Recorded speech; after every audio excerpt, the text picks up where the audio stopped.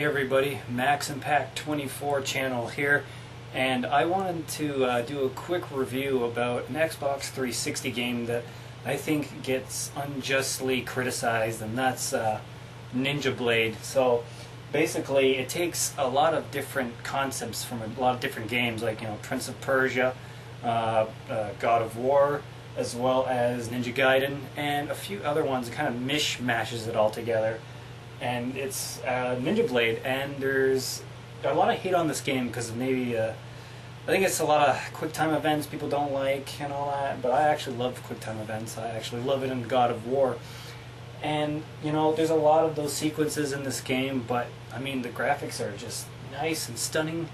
I mean you know FromSoftware the, the developers and uh, the game didn't sell well apparently and didn't do too well I guess. So it's in bargain bins everywhere, so you can nab it for like 10 bucks or less. But basically, you know, it doesn't have the best story, uh, you know, of them all. I mean, you play a, um, you know, aspiring ninja named Ken Ogawa, and basically you're in this task force that's sent out to Tokyo, Japan, and basically you're there to uh, contain and wipe out this contagion, this virus that's been breaking out. And, you know, from it going critical and, you know, spreading throughout the world, you and your master, which is actually your father, go out and you know you have your ninja recruits or your recruits, recruits. You know you have your ninja recruits, and you're out you know containing uh, this area in the city. And for some odd reason, he hands you this mystical sword that's bound together, and you know nobody can unsheath it. And he basically goes nuts. He goes bonkers after you beat the uh, first level boss.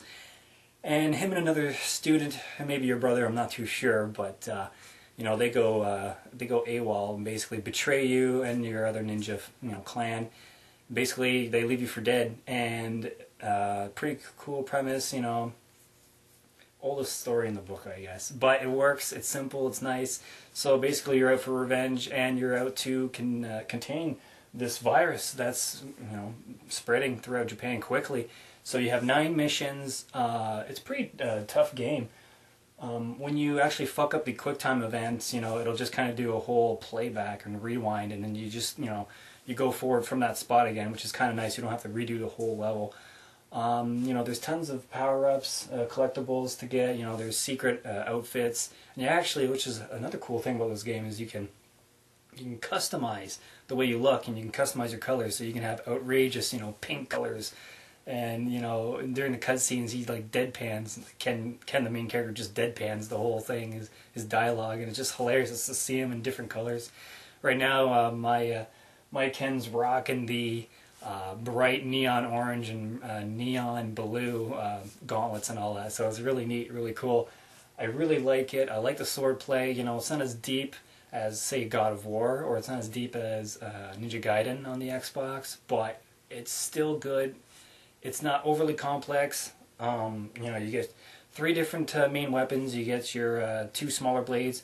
You get your standard sword, which is like the medium. You know, it's not so fast, but it's not so weak of a weapon.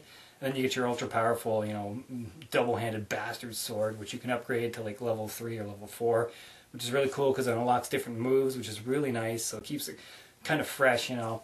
It is a button masher, but, you know, they do some platforming bits a la Prince of Persia where you're running across the walls, which is really cool. I always love that little little move set.